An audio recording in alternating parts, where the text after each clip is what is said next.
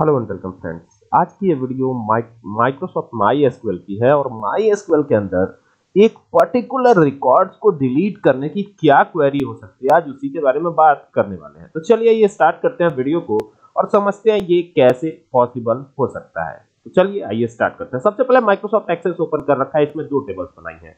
पहले टेबल का नाम है टेबल वन दूसरे टेबल का नाम है टेबल टू पहले टेबल में आपको दिख रहा है आईडी ठीक है? और यहाँ पर दूसरा जो कॉलम है, उसमें दिख रहा है आपको डेट तो दोनों में दो चीज़ें मेंशन है, ठीक है?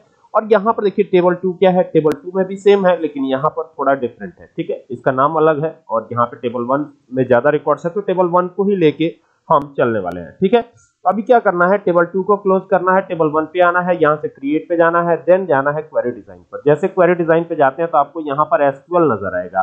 तो बस इसी पे क्लिक कर दीजिएगा। जैसे ही क्लिक करेंगे तो ये इस तरीके से आ जाएगा।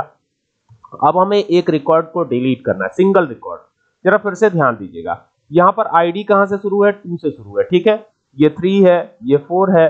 किसी एक पर्टिकुलर रिकॉर्ड को डिलीट करना है। किसी एक पर्टिकुलर रिकॉर्ड को कैसे डिलीट करेंगे?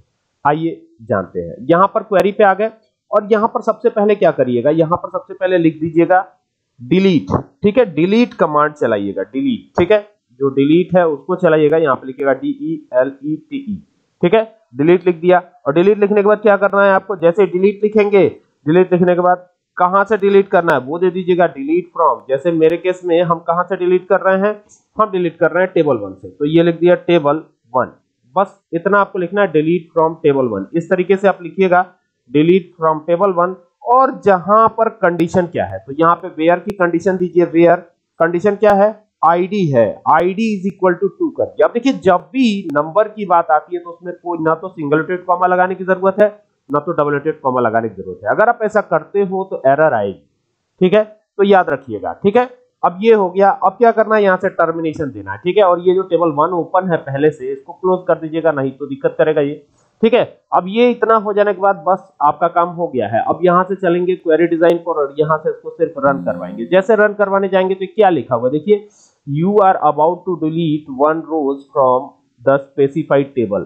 तो एक सिंगल रो को ये डिलीट करेगा, ठीक है? तो यहाँ से अगर मैं इसको यस कर देता हूँ और देन इसी टेबल को हम दोबारा देखते हैं तो यहाँ पर अब आपको दो वाला रिकॉर्ड जो ऊपर दो दिखाई पड़ रहा था, वो वाला रिकॉर्ड नहीं नज़र आएगा। देख सकते हैं ना?